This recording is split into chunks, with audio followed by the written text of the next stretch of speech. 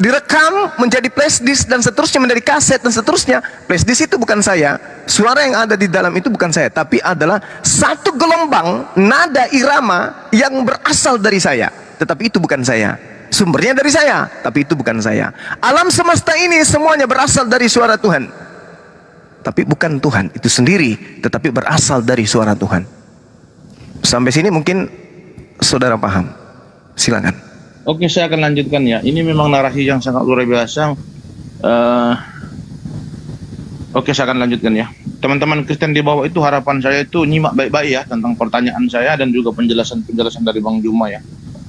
Ini sangat luar biasa apa yang disampaikan oleh Bang Juma bahwasan suara Allah yang berasal dari diri Allah, yang ada di dalam diri Allah adalah Allah. Tetapi saya men belum menanyakan tentang suara yang keluar dari Allah ya. Nanti kita akan uh, masuk ke sisi itu. Nah, sekarang begini ya, berkaitan tentang tabir dulu ya.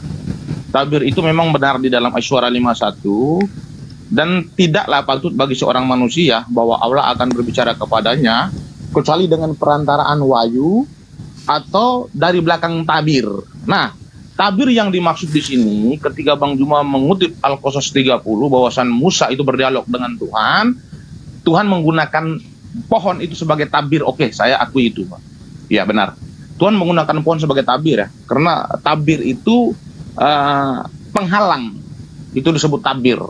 Itu tidak saya persoalkan. Nah, kita lanjutkan lagi ya. Yang saya tanyakan begini Bang Juma. Saya tidak bertanya tentang suara Allah yang ada di dalam diri Allah. Tetapi yang saya tanyakan itu intonasi yang keluar dari Allah. Suara Allah yang sudah keluar dari Allah, yang sudah terpisah dari Allah itu itu yang saya tanyakan. Contoh begini ya. Manusia ketika dia berbicara, maka ada suara yang keluar dari dalam mulutnya. Berasal dari mana? Dari pita suara ya saya tidak tahu apakah Tuhan mempunyai pita suara atau tidak, tetapi saya yakin bahwasan Tuhan pasti tidak memiliki pita suara, tetapi pasti Dia mempunyai suara. Kenapa saya katakan Tuhan mempunyai suara? Karena Tuhan menciptakan alam semesta menggunakan suaranya. Tidak mungkin Tuhan itu hanya diam saja, hanya berketak saja, lalu alam semesta itu jadi. Sebenarnya itu bisa saja terjadi, tetapi tidak seperti yang diinformasikan oleh kitab suci. Kitab suci menginformasikan bahwasan Tuhan menciptakan segala sesuatu itu menggunakan suaranya. Artinya ada intonasi, ada gelombang suara yang keluar dari Tuhan. Nah, saya pertanyakan di sini ketika ada suara Tuhan yang sudah keluar dari Tuhan ini, yang sudah terpisah dengan Tuhan, ini masuk dalam kategori Tuhan ataukah dia jadi makhluk suara Tuhan ini? Silakan Bang Juma. Iya, sekali lagi ya, saudara saudara Meme dan sahabat-sahabat yang lain, kita tidak bisa kemudian mensifati Tuhan dengan sifat makhluk. Itu dulu. Tak ada seorang pun yang pernah melihat Tuhan.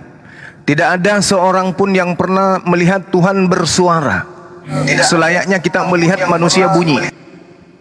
Itu tak ada.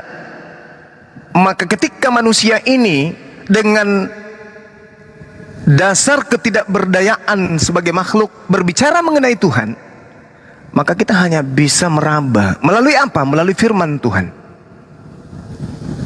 Innama amruhu ita arada say'an ayyakula lahu kun fayakun. Kita hanya sampai sana merabahnya. Mazmur 33. Dia Tuhan hanya memberi perintah maka semuanya ada. Yesaya 55 nomor 11. Firman yang keluar dari mulutku tidak akan kembali kepadaku dengan sia-sia sebelum terlaksana apa yang ku kehendaki. Jadi kita tidak bisa kemudian mendudukkan perkara ini seakan-akan kita sedang membicarakan makhluk. Gak bisa. Karena kenapa? Dimensi ini adalah dimensi mak dimensi khalik pencipta. Kita tak ada kemudian kekuatan dan daya untuk menelaah sana. Nah, pertanyaan muncul kemudian, apakah gelombang yang keluar dari mulut Allah dari mana kita tahu ada gelombang keluar dari mulut Allah? Dari mana kita tahu ada suara keluar dari mulut Allah? Dari mana kita tahu? Pernah kita mendengarkan? Sementara Yesus sendiri mengatakan dalam Yohanes 5 nomor 37 yang dikatakan di sana? Kamu tidak pernah mendengarkan suara Tuhan. Artinya suara Tuhan itu tidak bisa didengarkan ketika Tuhan kemudian ingin berkomunikasi dengan hamba maka hanya tiga pasal yang tadi melalui tabir. Maka yang muncul di sana itu adalah makhluk. Pohon adalah makhluk. Pohon adalah makhluk. Bagaimana dengan yang yang didengarkan kemudian di kuping Nabi Musa alaihissalam? Itu adalah untayan huruf. Suara adalah hal yang baru. Bukan kemudian Tuhan yang nampak di depannya kemudian Tuhan berkata sedemikian rupa. Maka Al-Quran kemudian mengatakan dalam surah Ash-Syuara diterangkan dan sesungguhnya Al-Quran ini benar-benar diturunkan oleh Tuhan semesta alam. Dibawa oleh Ar-Ruh Al-Amin di dalam hatimu agar kamu menjadi salah seorang di antara orang yang memberi peringatan dengan bahasa Arab yang jelas. Artinya, ketika Al-Quran, ketika Allah Subhanahu wa Ta'ala itu dinyatakan berfirman, bersuara, itu tidak bisa kita gambarkan suara Tuhan itu seperti suara manusia, makhluk. Tidak bisa. Tak ada kekuatan, tak ada alat, tak ada ritme di dalam kehidupan kita di mana kita menemukan ritme itu untuk menentukan satu kesimpulan akhir bahwa suara Tuhan itu begini loh sama seperti A B C D Kenapa demikian? Al-Quran diwahyukan oleh Allah langsung ke dalam kalbu. Kalbu ini apakah mendengar? Yang mendengar itu kuping. Sementara Al-Quran dimasukkan ke dalam hati, kalbu, baginda Rasulullah Muhammad sallallahu alaihi wasallam. Nah, yang datang kepada yang datang kepada baginda Rasulullah Muhammad SAW makhluk. Roh Kudus, malaikat Jibril. Ikra. Nah, yang mana suara Tuhan di situ? Itu suara Jibril. Itu suara Roh Kudus. Meskipun disebut itu sebagai suara Tuhan. Jangankan yang itu, orang azan. Allahu Akbar, Allahu Akbar. Itu suara Tuhan. Nah, apakah yang azan di sana itu adalah Tuhan? Tidak.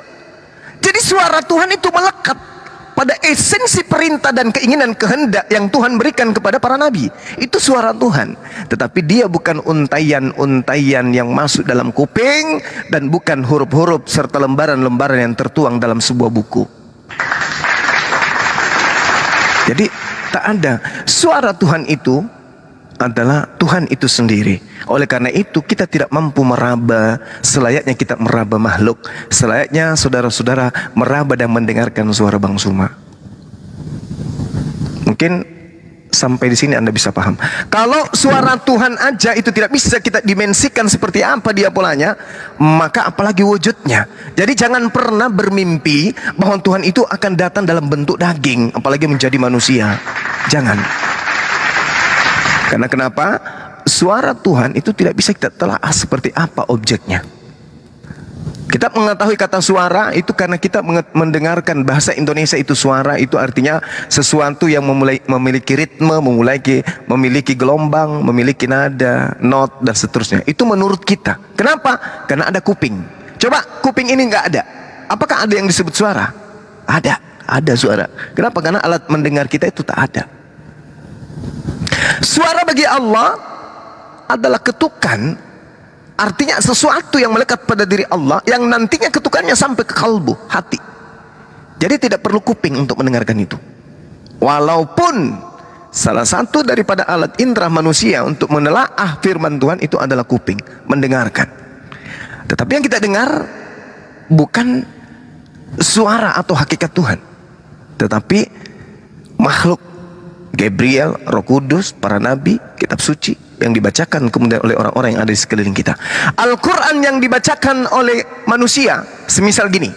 Ya ayyuhalladzina amanu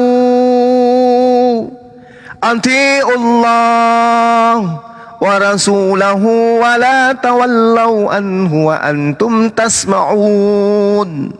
Itu suara Tuhan tuh. Tapi yang melantunkan makhluk.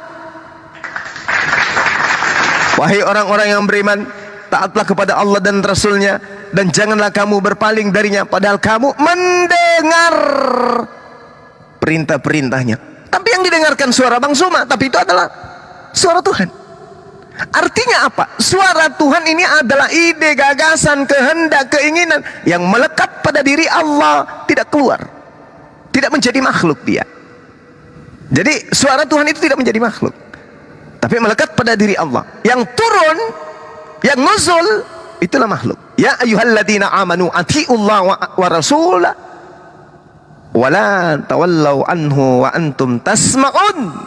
Padahal kamu mendengar. Apa yang kamu dengar?